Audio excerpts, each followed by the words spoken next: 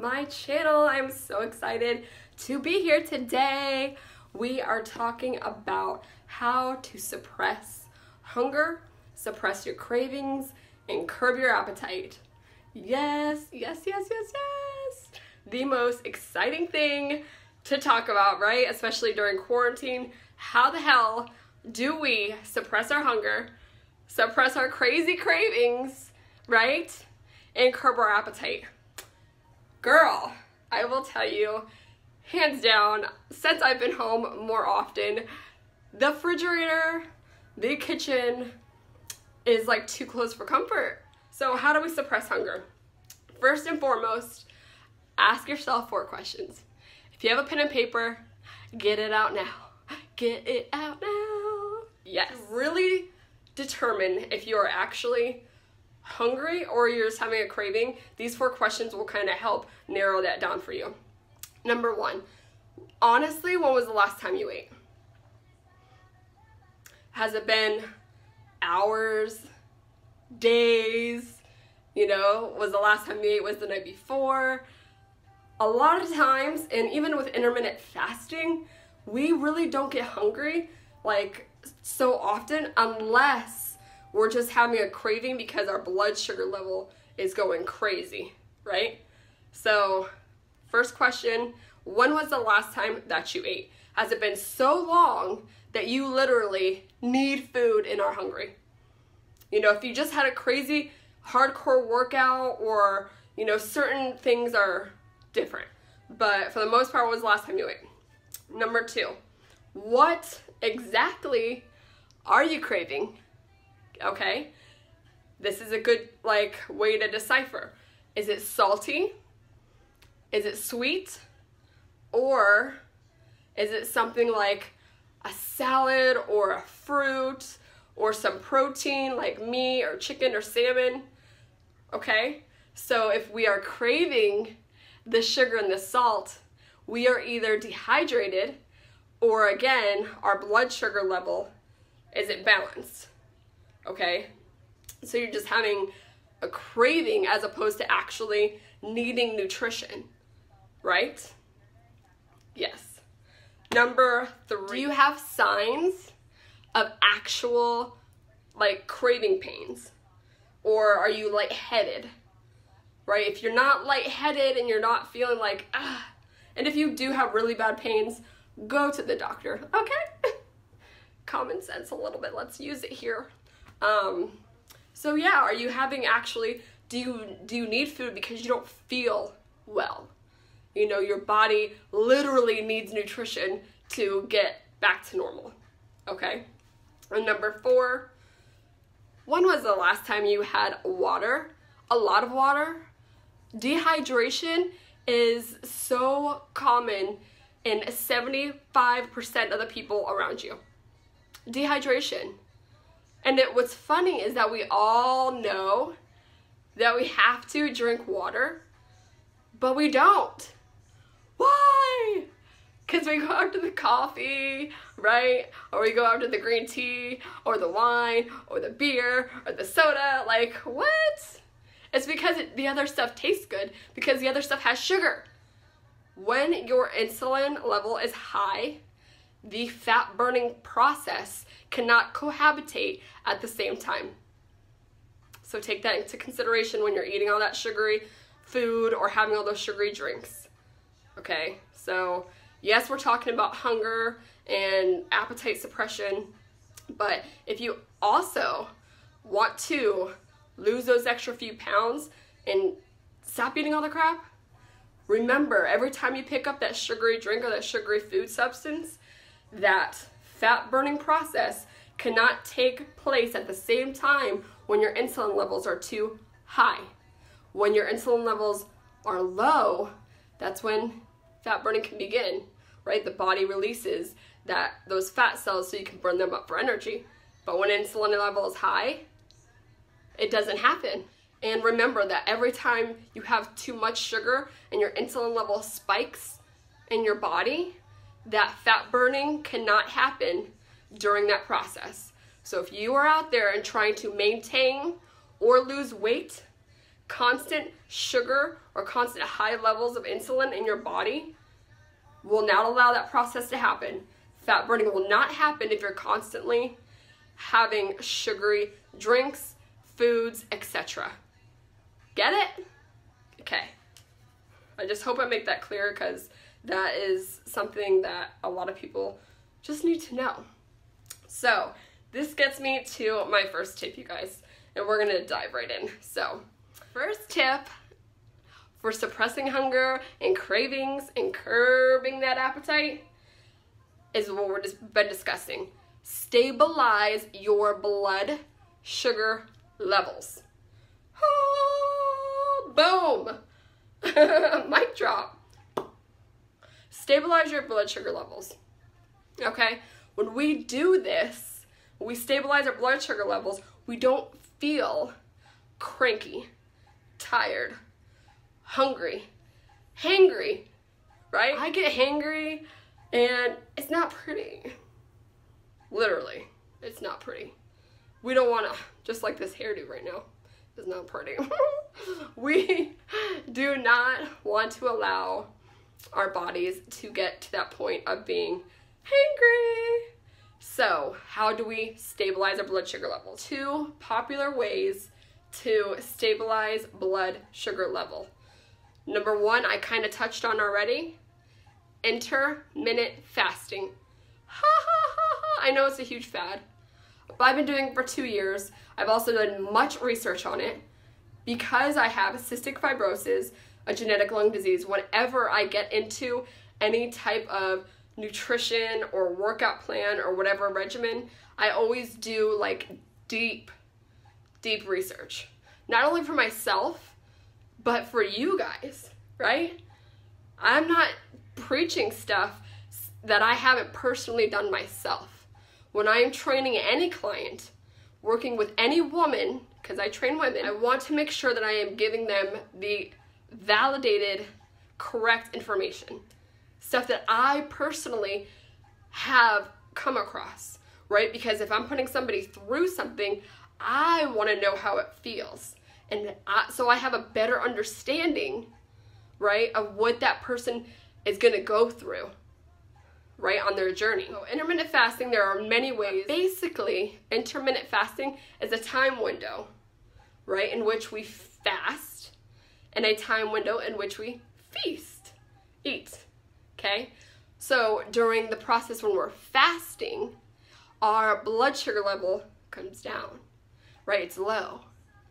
So when our blood sugar level and our insulin levels are low, right, fat burning can begin and our bodies are going through crazy spikes with our insulin that's gonna make us feel hungry, have those cravings, feel that like hangry, starving, tired, groggy feeling.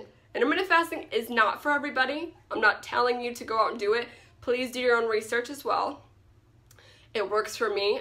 It's worked for many of my clients okay? If you want to learn a little bit more, you know, Google it, look at quality information, okay? But because intermittent fasting works for cravings is because it lowers blood sugar level, which allows our body not to have those insulin spikes so we don't constantly have those cravings. Second way we could lower insulin levels and stabilize our blood sugar to make sure that when we are eating foods, it is packed with good macros. So we have not just carbohydrates, right? Not just the unrefined sugars that are gonna go up and down, that's gonna bother our insulin levels. We're pairing our carbohydrates with a good protein and fats.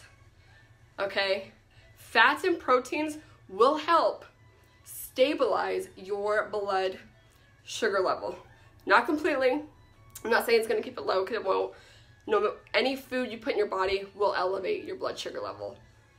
Fats does not elevate it as much as carbohydrates.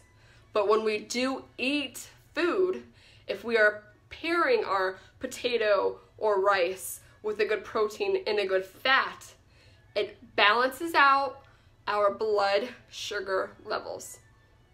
Balances out, keeps it balanced. So it's not spiking and going crazy because we're just having sugar or unrefined pasta, right? So we want to keep it balanced. Because if you're just going in there and eating french fries, guarantee you you're going to have cravings and you're going to feel like shit later on. Okay, so if you want to help yourself not crave or have those like late night snack feelings, you know, and then feel ugh, and then you're regretful, then make sure when you do eat, we're having all the macros in the meal. Again, protein, carbs, and fats. Tip two another great way to help suppress hunger is to eat voluminous foods first or within the meal. What is voluminous foods, you ask? Salads, greens, fiber. Yes. When we are packing our stomach with almost little to no calories, yet it's dense and voluminous, it's gonna expand your stomach. Okay, so it's gonna make you feel full. When our stomach expands, it releases a hormone called leptin. Leptin tells the brain, I'm full. So you don't eat as much. Okay? So that is a helpful tip that can do wonders. Before, during your meal, have a lot of good fibrous vegetables that are going to fill and expand your stomach, make you feel full, so the other foods that you are eating, whether they're healthy or not, I'm just saying, you're not going to consume as much from the other sources because your stomach is so full of all those dense, nutritious foods. Okay, and it also helps to balance out your blood sugar levels. It is a win win, you guys. Okay, so we're not overeating and we're balancing out our blood sugar levels. So later, we're not also craving brownies, chocolate, cake, ice cream, blah, blah, blah, blah. Yes? Are you with me? Do you feel me? Do you feel me? Tip three to curb your appetite and suppress hunger. Oh, water. So boring, but so true. Again, I said this in the beginning of the video. Most of us are walking around dehydrated. When we are dehydrated, our body does not function properly, right? You feel lightheaded, your skin is dry, and yes, you will have cravings because it'll start to mess with your hormones when you're not fully hydrated. Your body isn't functioning right, your hormones will go out of whack, and you will thus feel hungry when really you are probably only thirsty for water. So hydrate your body. Again, hydration or let's say we want to expand the stomach, right? Like we talked before.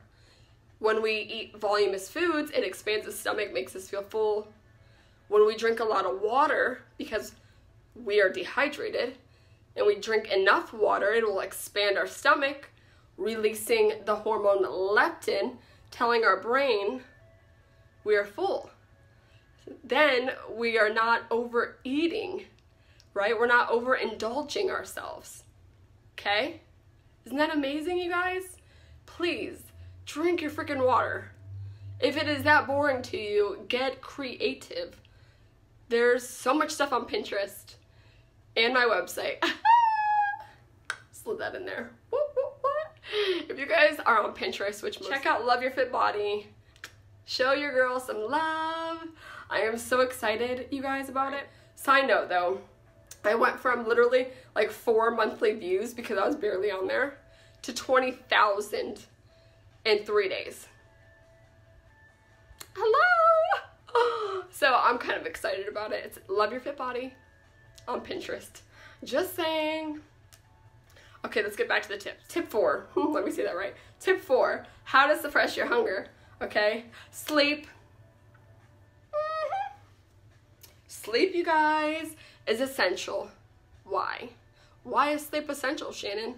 Let me tell you, because it balances out your hormones. When our hormones are balanced, our body functions regularly, right? We want our body to function properly. Because if it's not, again, our insulin levels, our hormones are gonna go crazy. When you are not getting enough sleep, and I mean deep sleep, not just like, you know, you're up all night, you, are thinking, you're just lying in bed. No, I mean actual sleep will balance out your hormones. Sorry, my hair is like in my armpits. we are, we don't have enough sleep. Our body raises cortisol. Cortisol is a hormone, a stress hormone that actually holds on to fat. Also, release a hormone called ghrelin, which makes you feel hungry. What? So you're telling me, Shannon, that if I don't get enough sleep, my body is actually going to release a hormone that makes me constantly feel hungry? Well, yes, that's exactly what I'm saying. So sleep, sleep, sleep, sleep. We do not want cortisol that's going to make us fat. We don't want ghrelin that's going to make us hungry. And the combination of both is just a disaster. So when we sleep beautifully seven to eight hours, we balance our hormones, which balances out our blood sugar level. Thus, we are not having cravings and we are suppressing our hunger a little, right? So it's a win-win. Tip five for suppressing hunger is sometimes, not always, but sometimes we do need to add in a supplement in our bodies. Sometimes we lack certain nutrients, right? Especially women. We're low on iron or magnesium or zinc or our body doesn't digest well. That will throw off, right, our whole system. So when we are not balanced and have the right micronutrients within our own bodies, we don't function properly or our hormones go crazy. So what we have to do is sometimes supplement. You know, in order to kind of find out what you're lacking in micronutrient wise, go to your doctor, get blood work, do what you have to do to figure out what you may be deficient in. If you are deficient in something, that is a good place to fill in gaps with a supplement. Here in front of me that I'm going to show you. And these I take daily. This is just basic. This is basic, you guys. I'm not to go crazy with everything that I take because, again, my body is different than your body. So if you have deficiencies and you need to fill that gap in, go to your doctor and find out the best supplement for you. Make sure it is a high quality source, okay? Don't just get the crap tablet from like the dollar store. I have seen people do that and I'm like, wait a minute. no, no. Get a good quality capsule or liquid, something that your body can digest easily so that you actually get the benefit. You're not just peeing it out. So some of the basic stuff that I take. A multivitamin. Ladies, if you need to balance out your system and you don't have a multivitamin, do it. Especially if you're starting a fitness regimen and your body's moving more, okay? Everything's gonna be used up faster. Need multivitamin. For me personally and most people, magnesium. Okay. Magnesium. Women. This is one of my favorite omegas. Wait. Omega? Sorry, the light is like crazy. But this has fish oil, evening primrose, and flaxseed. Okay, it supports health, heart health, flexible joints, and radiant skin. This is specific for women. It's amazing. It's from Women's Sense. I got this from the local food, uh, Whole Foods store. Check that out. A probiotic. I use PB8, but there are plenty of good and greater ones out there. But use a probiotic. And then, especially now, I think it's great to add in zinc. Right? Just like the basics. But if your body is deficient in something, it's not going to function properly when we don't function properly, right, our hormones go crazy. and our body doesn't function right, and our cravings and our appetite will go awry. So, that is a great, helpful, last resort type of tip to take on. Real quick, let me recap before I get off of here to help suppress your hunger and curb your appetite. Number one, stabilize your blood sugar level. How are we gonna do that? Intermittent fasting does wonders, and matching the correct macronutrients with each meal will help balance blood sugar levels. Two, eat voluminous foods. Voluminous foods, remember, green, leafy, fibrous foods. It'll help expand your stomach, allowing your body to release the hormone leptin, making you feel full. Number three, hydration. Again, we are, a majority of us are walking around dehydrated, making you feel hungry. We do not want that to happen. So again, drink a lot of water. When we drink a lot of water, our body will also, our stomachs will also expand, making us feel full, thus allowing us not to have overindulgence in food and have crazy craving. Four, we are going to sleep. Sleep balances hormones. If we lack sleep, our body will release two hormones that are dangerous to the body. Cortisol, it will also release ghrelin, which will make you more hungry. So please get some good damn sleep. Okay, number five is if you are deficient in something, take a supplement can balance out what's going on in your body you can balance out your hormones, thus you won't be feeling hungry and having cravings all the time. Okay? What? That was kind of a long video. These are hands down actual science backed tips that are gonna help your body curb your appetite, okay? So please listen. If you have to rewatch this video, do so. If you don't want to watch the video again, you could always go to loveyourfitbody.com. Yes, loveyourfitbody.com. I have a post titled How to Suppress Hunger, Curb Appetite, and Suppress Cravings. And it's going to go through exactly the five tips that I went through with you today. Oh, I love Cardi B though when she does that. It's just so like, oh, it's funny. Cracks me up. Like, comment, subscribe to my channel if you guys haven't already. I love you. Have a beautiful day. Till the next time.